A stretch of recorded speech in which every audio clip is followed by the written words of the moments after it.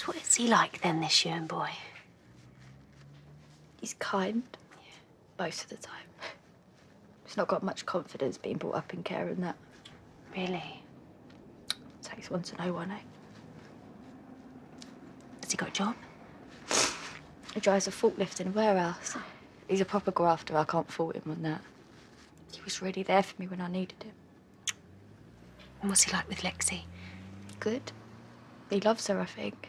His old foster mum definitely does. She helps out so much. He's never cheated on you or hit you or anything? No, he's not like that. So he's a kind man.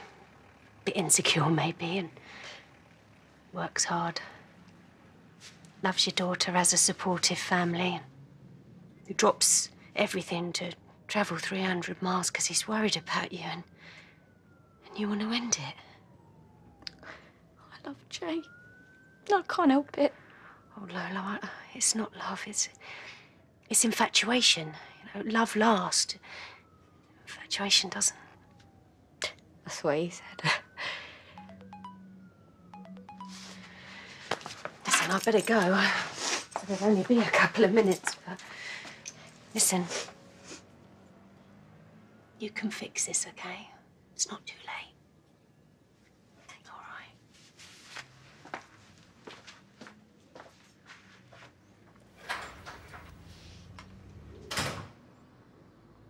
I know what you've done, Lola. Why? What did I ever do to you? This is your fault. How did you work that out? Well, you're the one that brought her down here. I didn't know this was going to happen. But now that it has, I'm not going anywhere till I've seen her. and what if she don't want to see you? I still love her. All right? And I love that little lass. And I'm not going anywhere.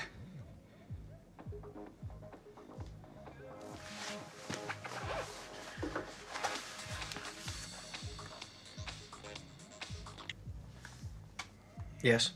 Did you tell him? It's all under control. Don't worry. Is that her? You were supposed to stall him. Are you with him now?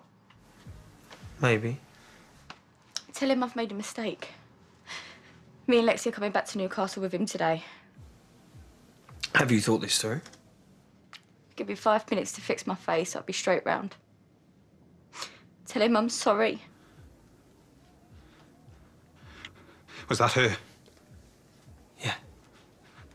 And? Good news. She's going to meet us at the cafe. Right. Uh, well, where's the cafe? Follow me. Well, come on then.